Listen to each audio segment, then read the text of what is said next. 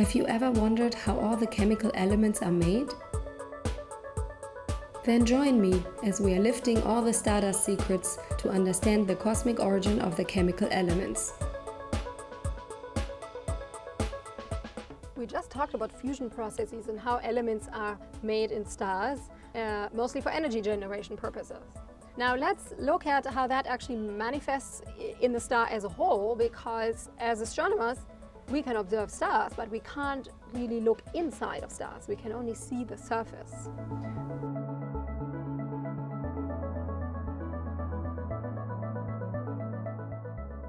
There are a number of ways we can get clues from the surface of a star as to what's going on in the core. And uh, so overall, this is a really nice um, example of how nuclear physics um, and astrophysics, nuclear and astrophysics, uh, come together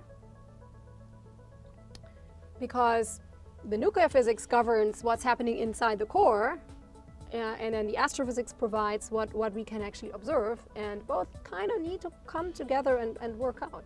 Um, and so over the last several decades a lot of progress has been made to put, put these two together and to understand what is uh, now called stellar evolution. That is actually governed by the nuclear physics processes, specifically fusion, in the core. And I wanted to share this with you because it's very insightful. So I'm going to draw what we call a Hertzsprung-Russell diagram. Um, it basically shows how a star evolves um, during its lifetime. We can use the sun as an example.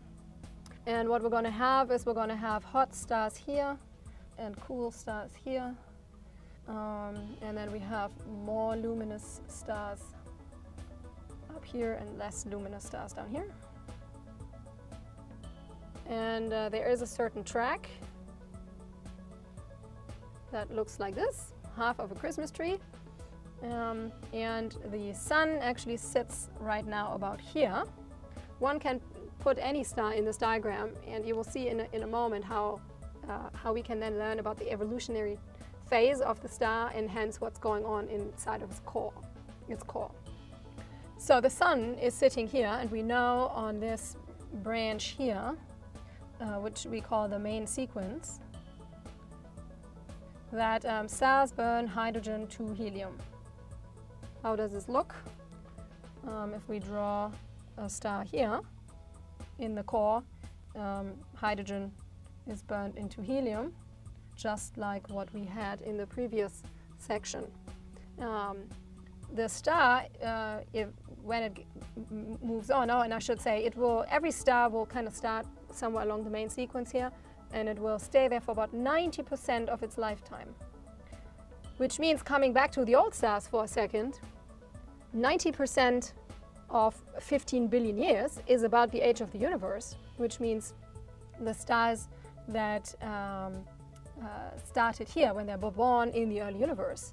They are just at the end of this hydrogen to helium process, um, which really means they haven't done anything else but burning hydrogen to helium which really is the key to why these stars uh, don't show their age.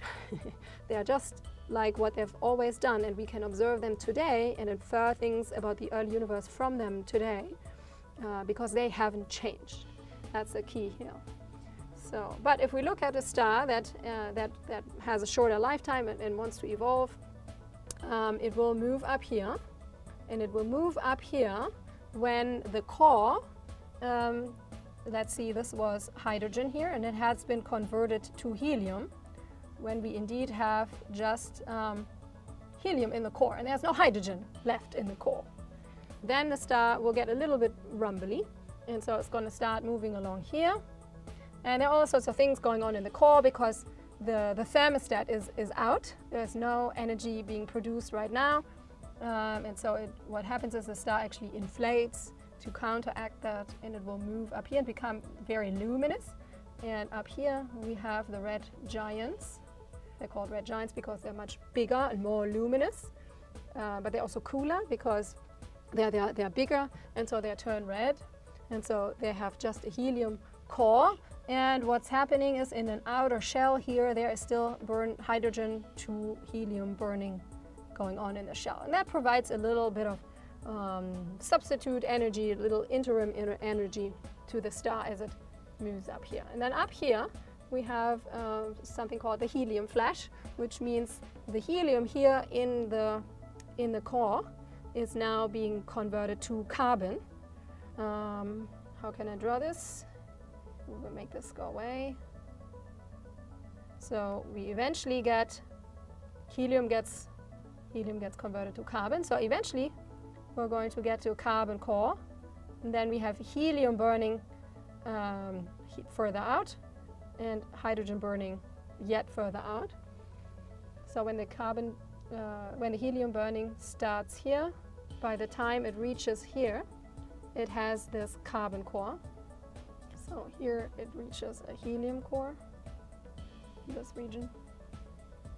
Uh, and then helium starts to, to burn, and then by the time it gets on here, we have the carbon core, and then it moves up here. And this last part here, it really depends on the mass of the star. The sun is actually not going to do much. It's going to just stick it out with a, a carbon oxygen core um, here and then turn into white dwarf and just cool down. So the sun is actually a pretty boring star that has a pretty boring fate. If we make the sun um, much more massive, let's say 10 times more massive, it would move up here in this carbon burning phase and a variety of later burning stages that lead to iron. And then it would have an iron core up here. And you already know what's going to happen if a star has an iron core. It has lost its energy source and it will explode as a supernova. And so before it explodes, what's it going to look like? We have a whole bunch of these so-called shells. Sometimes they're referred to as onion shells And in the center we have iron and then there's um, silicon and all the other elements folding out here, um, oxygen, carbon, helium, let's draw another one, and hydrogen. There are a few more other elements being produced in, in minority processes. So some of these shells are not pure in, in, in, in these elements, but that's the kind of the basic idea that um, you go, um, this is oxygen and silicon this is sulfur and others. Uh, that, that you have a, a, star that looks like that. So um, what you see here is that whatever is happening in the core has a direct impact of where the object sits on this diagram here. And so by measuring the luminosity of a star, as well as its temperature, we can place it on this diagram and then learn uh, in which evolutionary state the star is currently in, which tells us what is going on in its core.